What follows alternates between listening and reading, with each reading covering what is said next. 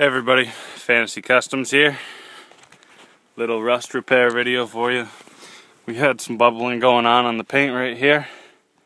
And uh, all I did was take the screwdriver, rip the paint away, scratch away some of the rust, the wetness rust bubbling going on there.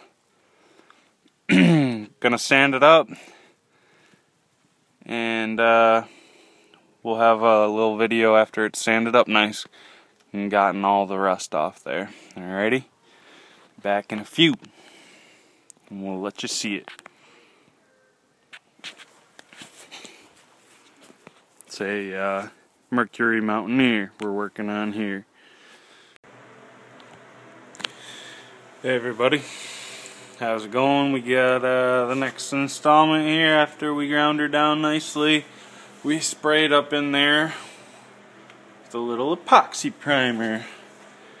This uh, Shopline JP375 with the hardener out of my brand new finish line.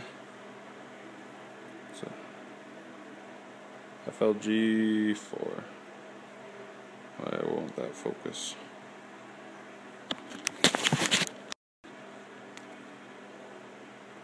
There we go. Pretty nice. Spraying pretty nice. Um, yeah. So, uh, put a little uh, paste over those little uh, divots there. And uh, be ready to sand that back down and throw a little paint on there. Alrighty. Alright cool, man. So yeah, things are coming along on this uh, this old ride here. So we'll be uh, up to the next step shortly.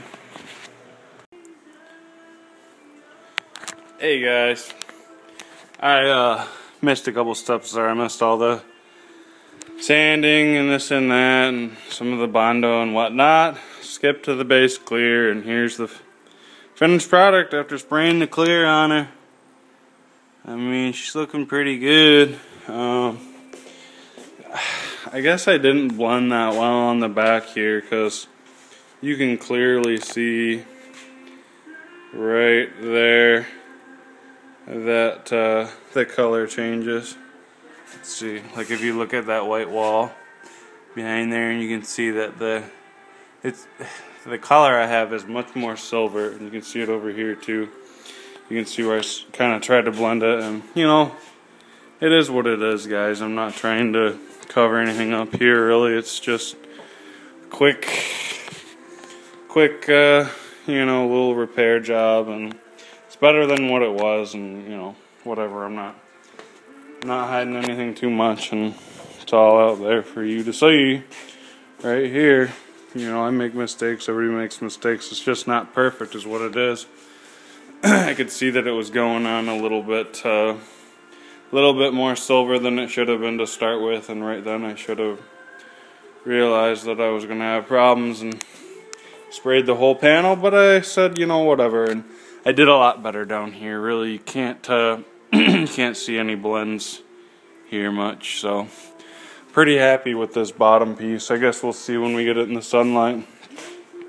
Anyways, uh, yeah, tomorrow I'll pull all this off and uh, get her cleaned up, and then uh, might do a little buffing.